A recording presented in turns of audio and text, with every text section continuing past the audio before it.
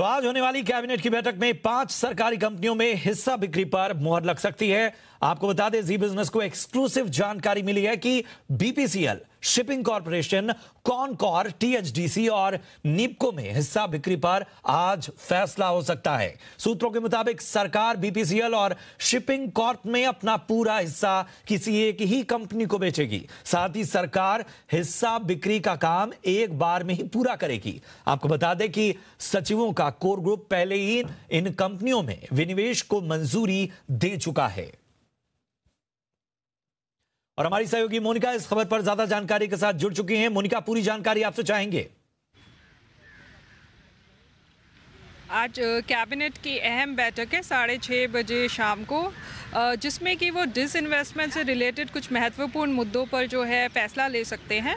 अभी हाल ही में जो core group of secretaries on disinvestment ने जो पाँच सरकारी कंपनियों में सरकार की हिस्सेदारी को बेचने के लिए जो मंजूरी दी थी तो उन्हीं पाँच सरकारी कंपनियों में आज स्ट्रैटेजिक डिसइन्वेस्टमेंट की जो है मंजूरी मिल सकती है, जिसमें shipping corporation Concor BPCL THDC और नीपको जैसी कंपनियों के नाम शामिल हैं।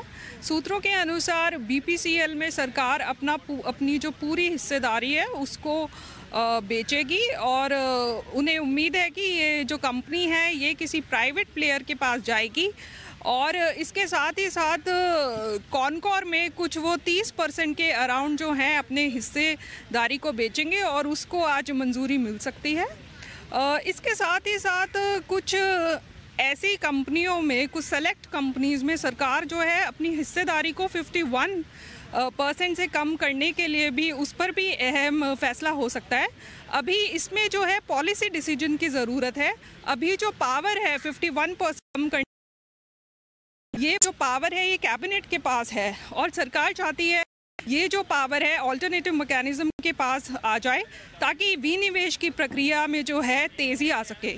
इसके साथ ही साथ इंश्योरेंस कंपनीज़ जिनकी बजट में घोषणा की थी, की गई थी कि उनका मर्जर होगा तो उस मर्जर प्रक्रिया में जो तेज़ी लाने के लिए वो ऑल्टरनेटिव मैकेनिज्म को बना सकते हैं तो इसको मंजूरी मिल सकती है। इसके साथ ही साथ आईबीसी में कुछ अमेंडमेंट्स लाने के लिए इस फैसले पर भी मंजूरी मिल सकती है। बहुत बहुत शुक्रिया करेंगे आपका इस अहम जानकारी के लिए, मोनिका और